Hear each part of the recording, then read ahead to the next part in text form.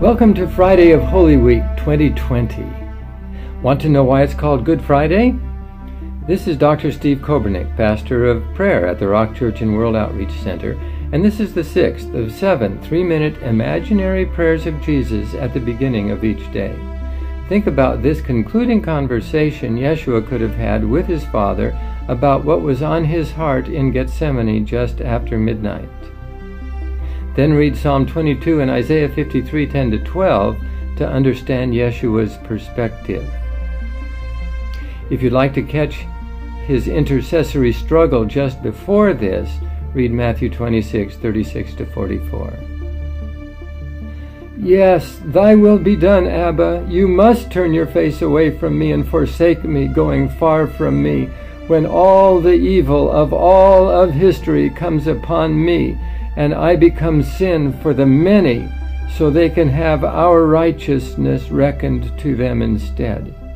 The necessity of you abandoning me and pouring out our holy wrath against all wilful wickedness upon me is what will kill me, not the physical torture or bloodshed. But I'm willing to be the sacrifice for the rewards it brings. This makes those who seek you able to find you and be adopted by you.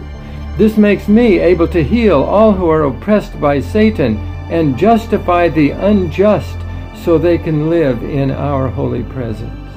This frees Ruach, our spirit, to be able to regenerate and sanctify all who repent and put their faith in us so we can dwell in them and they can be our people. All the families of the nations shall worship before us forever. O oh, Yeshua, my son, my grief and heartbreak will also be great, and so too for Ruach.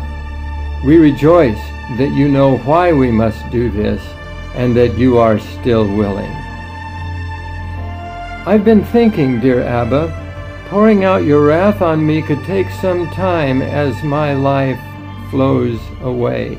Those I love will be watching and grieving for my physical pain. How can I change the subject and let them know that it's for the joy of the salvation of them and all my people that I must die this way?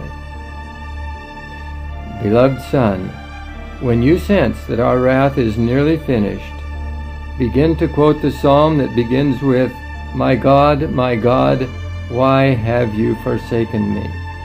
They will be able to remember how it ends or look it up. And when you are ready to give up your spirit, lift up the shout of triumph. Thank you, Abba. I will. What's that I hear? The soldiers, son, coming to arrest you. Keep your eye on Simon Peter. He's going to need some help.